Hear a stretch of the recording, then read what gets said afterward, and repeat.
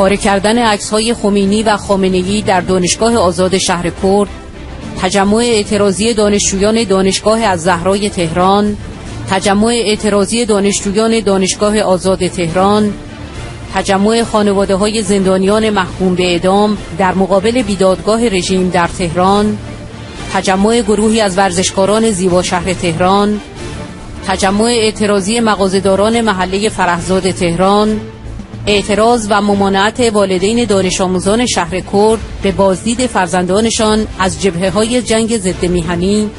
ادامه اعتصاب کارگران اخراجی شرکت کونل در پاکدشت. اعتراض بیمه شدگان تامین اجتماعی تهران. اعتراض کارگران زوب آهن اصفهان. اعتصاب کارگران کارخانه اشکان چینی در قزوین. تجمع اعتراضی معلمان نیمه وقت شهر کرد و اعتراض مردم در شهر کرد به جمعآوری بشقاب‌های ماهواره‌ای دانشجویان دانشگاه آزاد شهر کرد روز یکشنبه چهاردهم مهر تصاویر منحوس خمینی و خامنه‌ای را در این دانشگاه پاره کردند و قاب این تصاویر منحوس را شکستند. دانشجویان دانشگاه از زهرای تهران روز یکشنبه چهاردهم مهر در مقابل در ورودی این دانشگاه واقع در محدوده ونک تجمع اعتراضی برگزار کردند. آنها به پوشش اجباری چادر در سر کلاس های درس علاوه بر زمان ورود و خروج اعتراض کردند. دانشجویان رشته علوم پایه دانشگاه آزاد تهران واحد شمال از تشکیل کلاس های درس خودداری کردند و در مقابل ساختمان دانشگاه آزاد واقع در خیابان پاسداران تجمع اعتراضی برگزار کردند. این دانشجویان به اختلاف در مبالغ دریافتی از دانشجویان مختلف معترض بوده و خواستار توضیح سریع مسئولین دانشگاه شدند. جمعی از خانواده های زندانیان محکوم به اعدام روز یکشنبه چهاردهم مهر ماه در مقابل در ورودی بیدادگاه رژیم واقع در خیابان شریعتی تهران تجمع اعتراضی برگزار کردند. آنها در اعتراض به حکم اعدام عزیزانشان تجمع کرده و خواستار تجدید نظر در این احکام شدند. ماموران سرکوبگر نیروی انتظامی در وحشت از گسترش این حرکت اعتراضی با زور و تهدید تجمع کنندگان را متفرق کردند. روز دوشنبه کارگران اخراجی شرکت پونل در پاکدشت در اعتراض به انحلال شرکت و اخراج همه کارگران در مقابل دادسرای پاکدشت دست به تجمع زدند و خواستار تعیین تکلیف مطالبات عقب افتاده خود شدند. این کارگران از نهم شهریور ماه تا کنون در اعتصاب به سر می‌برند.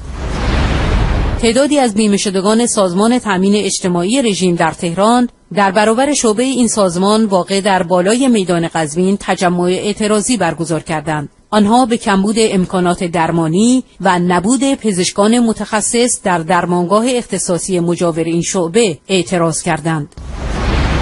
والدین دانش آموزان مقطع دبیرستانی در شهر کرد مانع حرکت این دانش آموزان به جبهه های جنگ ضد میهنی شدند. مزدوران رژیم این دانش آموزان را روز شنبه 13 مهر ماه سوار دو اتوبوس کرده بودند تا به مناطق جنگی برده شوند که مردم اتوبوس ها را محاصره کرده و به آنها اجازه حرکت ندادند. عوامل رژیم آخوندی به دروغ به والدین آنها گفته بودند. فرزندانشان برای مدت 72 ساعت به یک سفر علمی در استان کوهگیلویه برده خواهند شد. گروهی از ورزشکاران و ساکنان زیبا شهر در تهران در اعتراض به ممانعت ایادی رژیم از بازگشایی یک مجموعه ورزشی دست به تجمع زدند. ورزشکاران معترض گفتند بیش از یک سال است که کار ساختمانی مجتمع ورزشی تکمیل شده است ولی شهرداری از بازگشایی آن ممانعت به عمل می آورد. روز دوشنبه پانزدهم مهر ماه مغازهداران و کسبه محلی فرهزاد در مقابل شهرداری منطقه دو رژیم در تهران واقع در سعادت آباد تجمع اعتراضی برگزار کردند.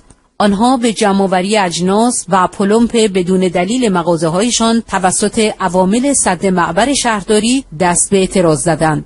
آنها قصد ورود به شهرداری را داشتند که ماموران سرکوبگر انتظامی وحشیانه به آنها حمله کردند و مانع این کار شدند. بیش از 300 نفر از کارگران ذوب آهن اصفهان صبح روز یکشنبه 14 مهر ماه در شهر کرد در خیابان سعدی غربی تجمع اعتراضی برگزار کردند. آنها در اعتراض به پرداخت نشدن سه ماه حقوق عقب افتاده خود دست به تجمع زدند.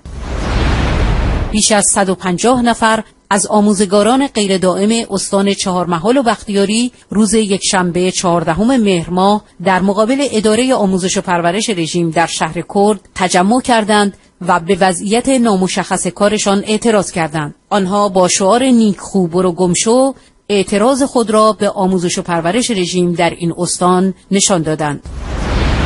کارگران کارخانه اشکان چینی در قزوین در اعتراض به پرداخت نشدن حقوق عقب افتاده خود دست به اعتصاب زدند و از رفتن به سر کار خودداری کردند. بنا به گزارش های دریافتی مردم هرمزگان قصد دارند روز سهشنبه 16 مهر ماه در اعتراض به جدایی شهر پارسیان از شهرهای این استان و پیوستن آن به استان فارس در مقابل استانداری رژیم در هرمزگان تجمع کنند.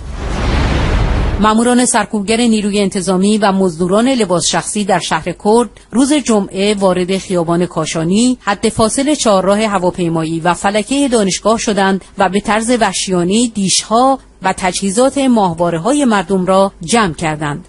مردم به ماموران سرکوبگر نیروی انتظامی اعتراض کردند و در خانه های خود را بستند ولی مزدوران لباس شخصی با سنگ به شیشه های این خانه ها حمله کردند و شیشه های برخی از خانه ها را شکستند. در این حمله ماموران رژیم آخوندی یک کودک ده ساله را مجروح کردند.